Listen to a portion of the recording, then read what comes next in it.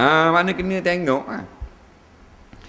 Sebab tu kadang-kadang tu imam kena terjemah hati Melayu. Jangan Arab semua. Betul dah, mul pasir. Main waktu tadilu, waktu tadilu semua. Makmum tak tahu benda. 8 tahun main jemaah, dia tanya. Nak tanya se, ya, waktu tadilu tu benda. Istawu tu, waktu tadilu. Kenapa? Oh, imam kata. Tu kata, mo tu tak tahu kok. Lepas mayang ada wahulu. dah, dah tak tahu nak. Patut terjemah hati Arab lima kali, Melayu sekali. Ha, cara dia. Faham?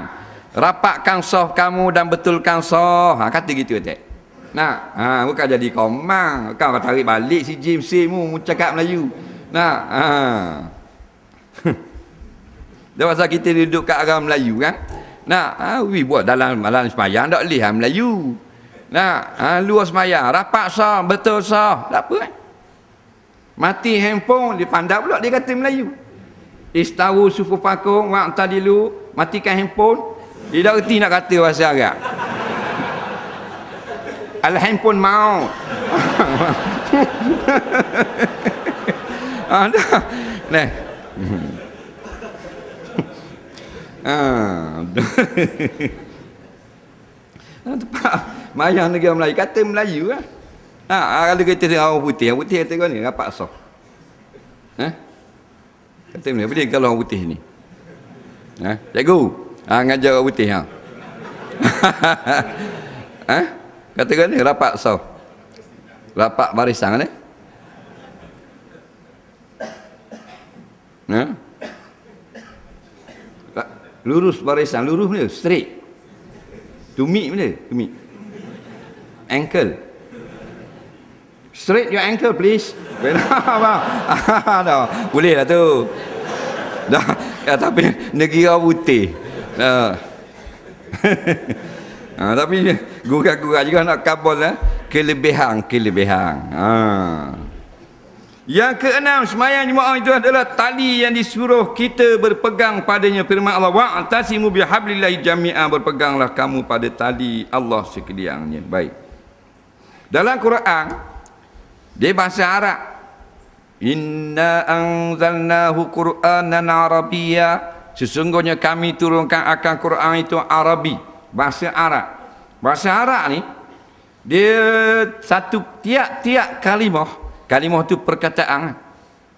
Bukan ayat perkataan. Ha, macam rumah. Nah, itu perkataan. Setiap perkataan dia ada dua makna. Yang pertama makna hakiki, yang kedua makna majazi. Faham? Sama ada makna hakiki atau makna majazi. Ada kalimah yang menggunakan makna hakiki. Ada kalimah menggunakan makna majaz. Hakiki makna asal sungguh perkataan bermaksud seperti itu. Contoh bila kata waqtasimu bihabli. Nampak? Habli ni tali ya. Faham? Kalau terjemah. Ha, kalau makna hakiki tali sungguh ha. Ni tali orang ikat buk. Tu tali ha, hakiki. Tapi kalau makna majazi, makna lain. Ha, dalam ayat ni, waqtasimu bihablillah, makna majaz. Bukan tali sungguh. Kerana Tuhan tak ada tali. Tali Tuhan dalam ayat ni, ada lima makna. Ataupun lebih, menurut ulama tafsir.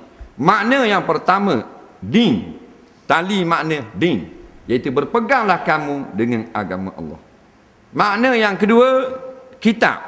Berpeganglah kamu dengan tali Allah iaitu kitab Allah. Yang ketiga hukum. Berpeganglah kamu dengan hukum Allah. Tali kat mana? Berpeganglah kamu dengan hukum-hukum yang telah ditentukan oleh Allah. Yang keempat, peraturan. Nampak? Atau hudud. Neh? Atau sempadan garisan yang ditetapkan oleh Allah. Pegang. Jangan langgar. Dan yang kelima, ada juga ulama berpendapat tali Allah juga bermakna solat jemaah. Faham? Ha, jadi kesemua makna betul belaka. Tak usah, tak usah ambil hak manusia. Neh, ambil semua. Molek belaka makna. Jadi kalau pakai makna asal, tali, rosaklah. Kalau makna hakiki, berpeganglah kamu dengan tali Allah. Dah dua tali? Tahu kok, Mekah kok ada. Ha, bukan tali ni, majas. Maknanya cakap, sindir. Bukan tali sungguh. Haa. Macam orang katalah tinggi. Tinggi kalau makna hakiki tinggi ya macam pokok tinggi macam tiang itu tinggi hakiki. Kalau majas bukan makna tinggi gitu.